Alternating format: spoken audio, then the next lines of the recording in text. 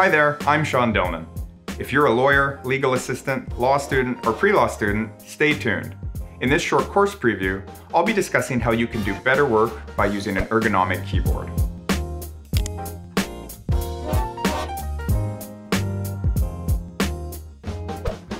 Using an ergonomic keyboard made a big difference on my typing technique.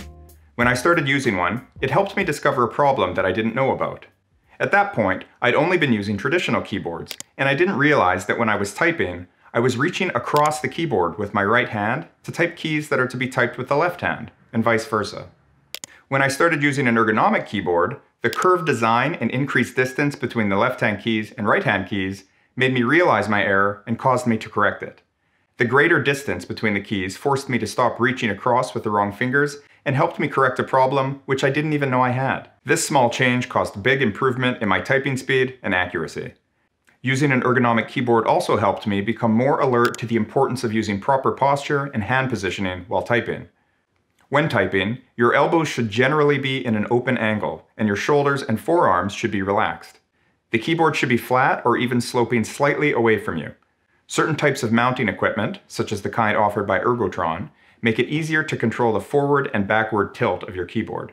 Your wrists should be kept straight, not flexed downwards or upwards. Finally, your wrists should not rest on any surface while typing, as this can put pressure on tendons and reduce blood circulation. Getting started with an ergonomic keyboard is relatively easy. There are many different manufacturers and models to choose from. The easiest way to start is to try some at a local computer shop that has some on display.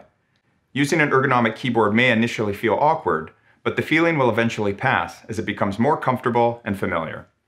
For all of the use that keyboards experience, they offer exceptional value and are relatively inexpensive. They're also easy to install and don't require any special hardware or software. They typically connect by USB cable, wireless USB, or Bluetooth.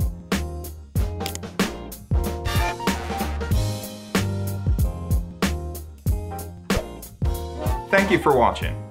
I hope that I was able to provide you with some useful information that you can put into use today. If you liked this video and found it to be helpful, please comment below, leave a like, and subscribe or follow. For more information about me and the full version of my course, please visit me at www.waythorn.com.